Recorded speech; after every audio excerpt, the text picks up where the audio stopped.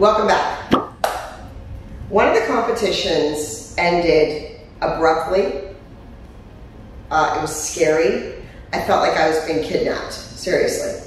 I was ushered out of there so fast. And usually we have to stay and sit there until the mothers fight, and it's just so monotonous and rehearsed. It was. and It was it was scary, honestly. Uh, we just came out. We just had a really big win. Huge people, win. people ask me all the time what my favorite number is. Uh, the number that we competed at season seven A nationals. I do truly seven, believe seven A. seven A. Yes, The Good Wife and Grey's Anatomy and my friend Debbie Allen, everything she produces and directs. They have 13 episodes. We have like 26 episodes, 52 It's episodes. just seven. And, and yeah, so we have 7A. So at the end of 7A, we were in New York We in this just done- huge venue. It was huge. And I remember It was in Asbury Park. Asbury Park, and they told me that when the ships sink, I don't know about the Titanic, but whatever, whatever ships sink, they bring the dead bodies in and they lay them all over the floor and they tag them for their families to come pick them up. And I'm like, I know it was like I don't creepy. remember that, It was but I- creepy, and it had big, huge ceilings and rafters. And I remember the lighting guys up there earlier, seeing them, thinking that is so dangerous. That's nuts. It was it was the uh, it was the addiction piece. It was called "Is There Still Hope." We had been using a song that someone gave us that we truly, truly, you know, felt for. We loved the song. We loved the piece. The costumes. It all worked. Uh, it was a big, big win for us. And And it was uh, mature. It was a mature piece. The kids were getting older, and we were proud of what we, we, did. we were ready to celebrate a big win, and we were ready to celebrate what might be the last win of Dance Moms. and play your character. No regrets on the stage.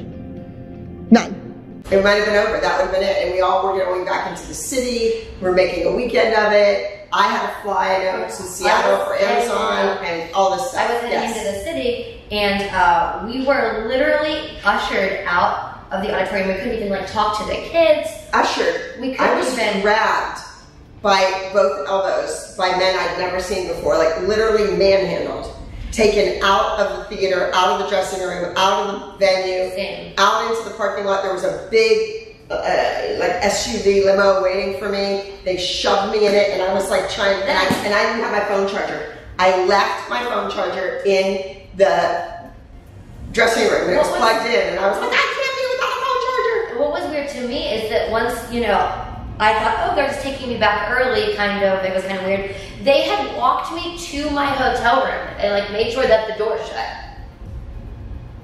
That's weird. It was For a young weird. girl alone like that, that's inexcusable. So we quickly found out. What was up? I fell asleep. I woke up startled. My dear friend slash makeup artist slash hairdresser was on her knees next to the bed. I was this way, and she was perpendicular to me with her hands on the bed, bawling her eyeballs out. And all I could think about was that her boyfriend, who was our lighting director, had fallen from the rafters and died. I literally, that all went through my mind. She was hysterical. And uh, Luckily, wanna, it wasn't that. Yeah, thank know, God it wasn't that that. It wasn't that. Do you want to tell them why she was hysterically crying? They were bringing back a former cast member. That's what happened. And it was ridiculous because I know for a fact, because I have the paperwork with my signature on it, and I'm not allowed to talk about, but she's broken every rule. She's talked about everything. She continues to this day to be deplorable, her behavior about me. And uh, she sued the network. And I guess part of her deal was that she was allowed to come back with the other moms and make the money that she would have made after all those years. And that's it. And there you have it. So I was done, finished, gonzo after that. That was the like straw that broke the camel's back. And one more thing I want to let everybody know. It's never the child. This child was a beautiful girl. Yes, she was yes. tall. She always had the best leotard that we got into the store. She bought it before anyone else could even see it. She always looked like a dancer. She always made me proud on stage. She, I'm sure, till this day, continues to make me proud. It was the mother. It was always an issue with the mother. And the mother just was not, she couldn't keep up with the other mothers. There you have it. I gotta take, Take this a call. phone call. I'll take a call. See you later. Subscribe. Turn on your notification bell. Come on. No, I was like, no, this actually isn't happening. This isn't real. So your parents failed you miserably. Stop looking at the floor. Head up in the back. Head up. Don't screw it up. I don't really dance. Okay, come on. Enough chit chat. She didn't even know me. Loser.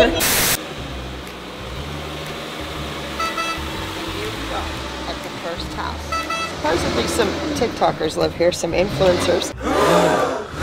How did you guys feel when Abby showed up today? No, I was like, no, this actually isn't happening. This isn't real. Oh my god! Ooh, can I even get up here? oh, oh my goodness. But I'm gonna start beeping right now. This is crazy. Surprise. Surprise. Whoop. I kind of knew a little bit. I kind of knew she was coming. I just like look out and I read the the thing on the back of the van. I'm like, what the hell's going on? I was like, what, what's happening? I just heard like a car honking the whole time. Like, can someone quit that? Where are they? I don't know. Somebody was beeping in front of my house like that. I'd I'd, like, come out and say, hey. here. ex- I don't know, my like 10 year old self was screaming. Like, I was like, oh my god, this is like all my childhood dreams coming true. Look at the lions on the front door. Let's- where can I park? I don't know. Can I What's that? park? Because our manager, like, he didn't tell us at all. He said we had a meeting.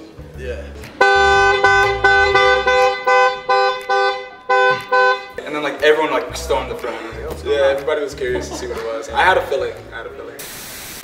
Yes? What's up? Are there people that TikTok here? Yeah. Hi. How is everyone? Good. I want to see the TikTok people.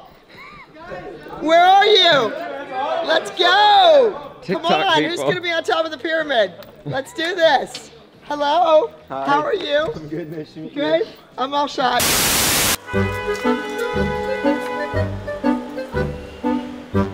the hell parked like this? I'm sorry, Miss Abby. I was so confused. Now, is there talent in this house? All right, next. She's done. She's out. Go. Next. And these girls are singers, TikToks, you know, a bunch of wannabes. You're out already. You're just out. What's wrong with you people?